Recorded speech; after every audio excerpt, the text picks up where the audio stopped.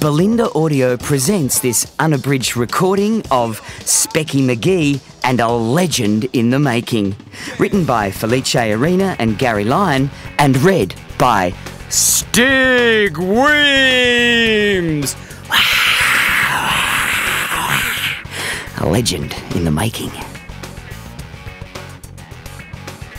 G'day all. Well, here it is. The next mega action packed Specky adventure. If you've read all four previous Specky books, it's great to have you back. If this is the first time you've picked up a Specky novel, then welcome. And don't worry that you haven't read the others yet. You can always check them out later. Since writing the series, many people have asked me what it's like knowing a real live legend of Australian rules football. And I usually answer, well, I've only met Eddie McGuire a couple of times, and oh, you meant my old schoolmate Garry Lyon. Oh, yeah, he's alright. He still hasn't admitted that I took an awesome specky over the top of him back in primary school, but yeah, he's okay. But seriously, the one thing that all legends possess is passion. And Garry has bucket loads of it. He's passionate about whatever he puts his mind to footy, writing, and that's what makes it brilliant working with Garry. In this latest novel, a few people will find out that their passion is tested as they're torn between the things they love. So if you have a passion for something, you might even have a few. Then my advice is be the best you can be and go for it. You might become a legend along the way. Cheers. Felice Arena. Hey there. I can't believe that we're up to the fifth Specky Magee adventure already. It seems like only yesterday that Felice approached me with an idea to write a story about a young boy with a love for footy and a dream to play in the AFL one day. Well, as you will discover, Specky continues to take small steps to make that dream a reality. It's not always easy though, and he continues to confront new hurdles along the way. But in doing so, he begins to understand that not all people share the same goals and ambitions, and that what is important to one person is not necessarily important to another. Life is all about respect respecting your family, your friends, your teachers, your coaches, and, yes, even your adversaries. As you may know, Felice and I grew up in the same country town. We both ended up here, in Melbourne, but for entirely different reasons. While football took me away from home, Felice pursued a career in acting. He turned that into a very successful career and eventually took him around the world. While you now recognise him as a famous author, I respect him enormously for following his heart and taking a chance on what he was passionate about. Now, an old footballer and an old actor are writing kids' books together. Who would have thought? It led to the first Specky Magee book and now to Specky Magee and a legend in the making. I'm pretty happy about that. I hope you are too. Enjoy, Garry Lyon.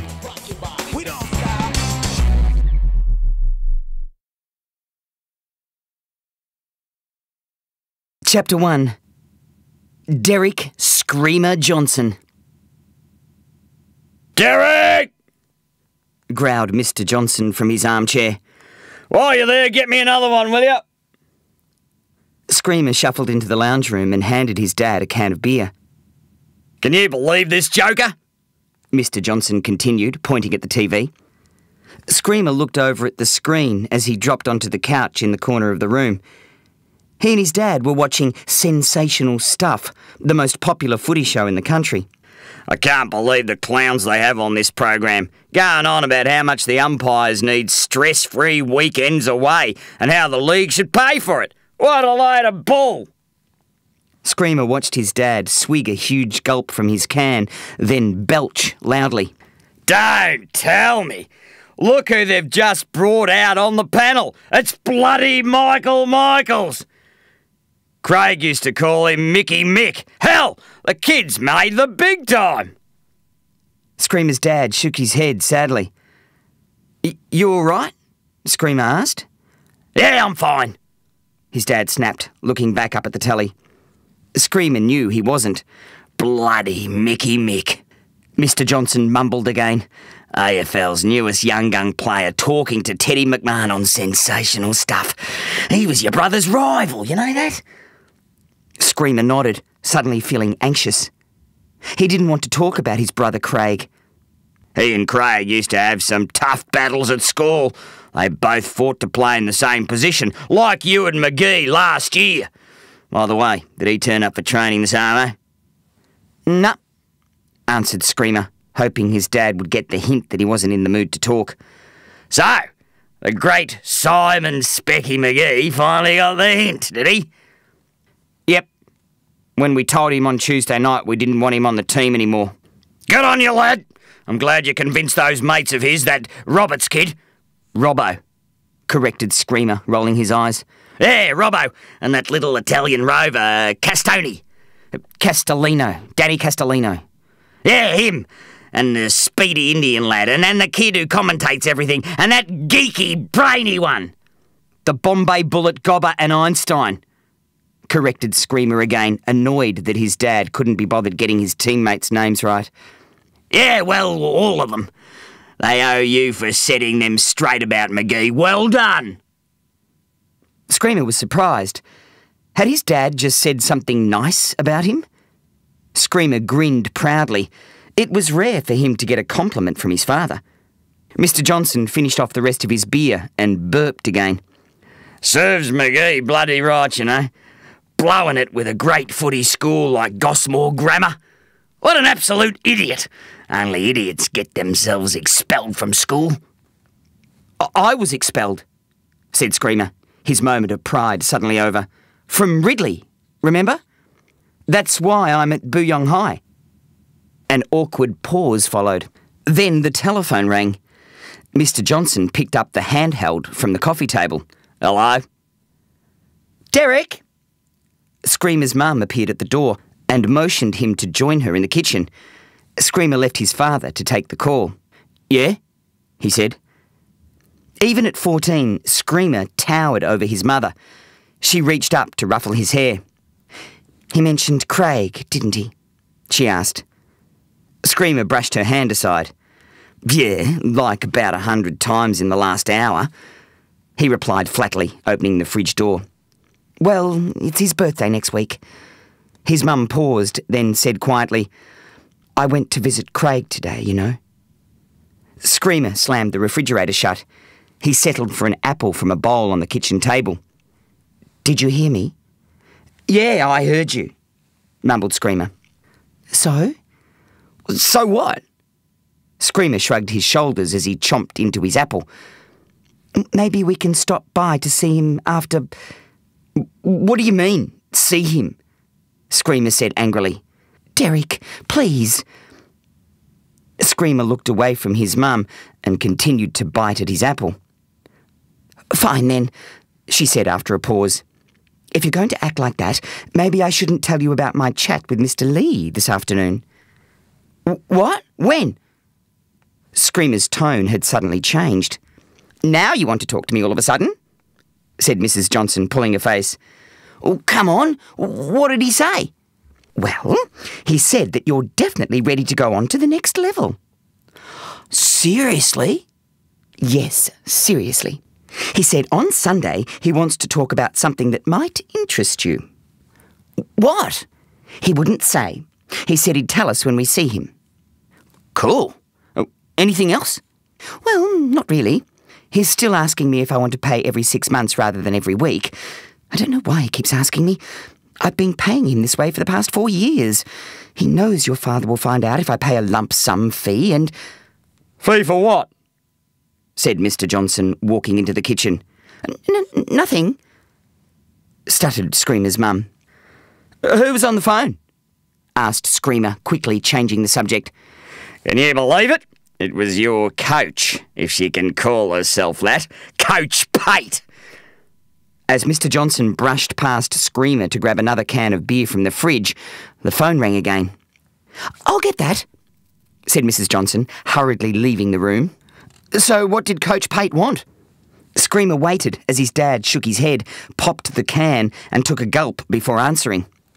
She had the nerve to call me to see if I could talk to you about your influence on your teammates. and to find out how they've reacted to Magee's return. What'd you say? asked Screamer. I told her to mind her own bloody business. Derek, it's for you. Screamer's mum returned with the phone in her hand. Who is it? asked Screamer. He rarely got calls. It's Christina. Chapter 2 Booyong High Life. Oh, terrific. Now the whole school knows why I'm back, Specky said under his breath, embarrassed. Specky was seated next to his good mate, Johnny Cockatoo, at the back of the classroom. There were only five minutes of English class to go before the lunchtime bell. What? Johnny asked. This. Specky was reading an article in the school's newspaper, the Booyong High Bugle. He shoved the paper across the desk so that Johnny could read it. How spectacular is Year 9 footy champ? It was only last month that former Booyong High student Simon Specky Magee led the Gosmore Grammar Knights to victory against our courageous Lions and Magee's former teammates in a thrilling Deodora Cup elimination match. But now, he's back. Four days ago, the Year 9 football champion, who had left us to take up a sporting scholarship at the private college, returned to Booyong after being expelled. Something about borrowing a pair of prestigious old boots. Well, we at the Bugle would like to welcome Simon back, but now we can't help but wonder just how specky-tacular Magee really is. Specky reread the last line of the article out loud in a whiny, sarcastic voice. But now we can't help but wonder just how specky-tacular Magee really is. I wouldn't worry about it. They're just trying to hook in more readers. Johnny shrugged. Specky had had a bit of exposure to the media in the last few years, there had been a couple of small mentions in the local paper about his football exploits, and the school league scores and best player lists were printed in the paper on Monday mornings. Every week, the first thing Specky did was to check whether or not he was featured. It wasn't that he had a big head or anything.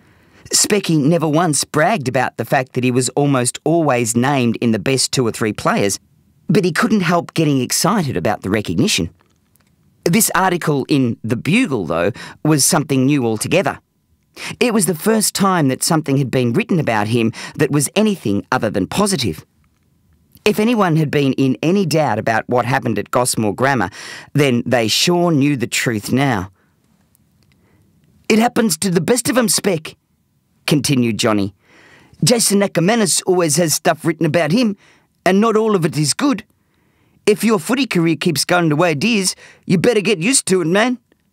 The biggest stars in the AFL can't even let one rip without making it into the back pages. Maybe I could be your publicity officer. I can just see it now. Mr. Magee has no further comment to make on this matter, and he would appreciate it if you respect his privacy. Specky mustered half a grin. And besides, they have nothing else to write about, added Johnny. Yeah, I suppose nodded Specky, notching it up as just one more weird thing to add to one of the weirdest weeks of his life. He couldn't believe that on Monday he had been a student at Gosmore, and now, midday Friday, he was back at his old school. And to make it even more surreal, life at Booyong High was very different from the way it had been when he left it. A Specky man. Hmm? said Specky, looking back up at Johnny. What are you thinking? I said I'd be able to play again next week. The doctor said my injury has healed nicely, and you didn't say anything. Oh, sorry, mate. I was just thinking how bizarre everything is, you know, with you living in Melbourne and Tiger Girl back from overseas, and in our year. Ah, it's cool, but. Specky looked to the front of the classroom to see Danny, Robbo, and Screamer sitting together. But Danny and Robbo are acting like total knobheads and giving it a silent treatment, which isn't cool, added Johnny, finishing Specky's sentence. Mm, yeah, that, mumbled Specky as Screamer turned around and sneered at him. Well, stuff 'em! That's what I reckon. If anyone should be giving you a hard time, it's me.